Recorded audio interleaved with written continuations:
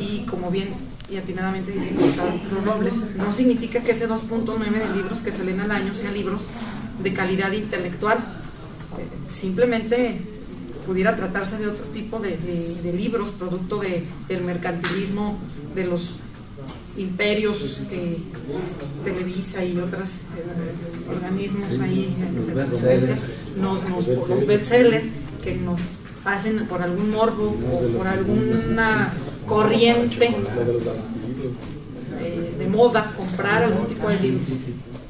Yo creo que los esfuerzos que hagamos por esto siempre serán necesarios e incluso insuficientes, porque el crear un programa estatal que involucre al gobierno del Estado y a todas las instituciones para generar un, eh, pues una promoción más específica a la lectura, pues siempre será necesaria, sobre todo si le estamos apostando al avance de la ciencia y la tecnología, pues necesitamos leer, leer, leer y leer libros de calidad. Por ahí yo recuerdo mucho que un maestro nos decía que mejor el amigo del hombre no es el perro, es el libro. Y pareciera que a veces no reconocemos a nuestro mejor amigo y este, es muy grave que uno de cada cuatro mexicanos hayan visitado alguna vez una librería.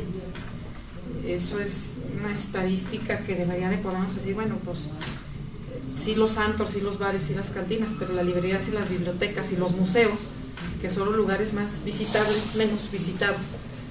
¿Qué está pasando en el país? Seguramente no solamente es el problema de Aguascalientes, es un problema nacional, multifactorial, pero con, este, con esta ley estamos reconociendo el problema.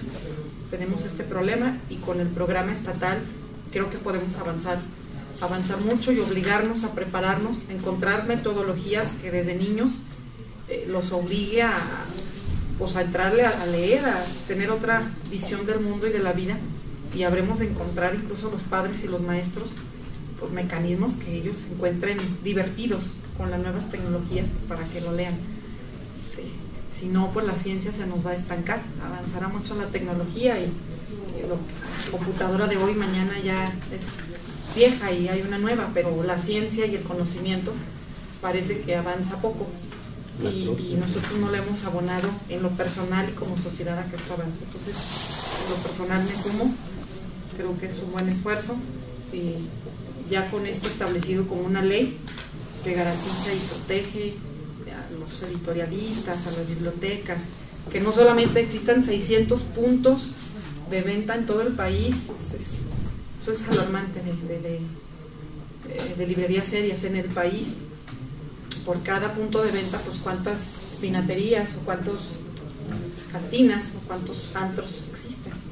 Entonces tenemos que empezar a empezar como sociedad y a equilibrar y yo creo que como Comisión de Educación debemos de sumarnos al programa estatal. No sé cuál rol vamos a jugar, que no lo veo muy claro en la ley, pero creo que al menos un integrante de la Comisión de Educación, presidente, debiera de formar parte del programa estatal para, pues, para arrancar el, eh, este asunto ya en Aguascalientes. Podríamos vernos después.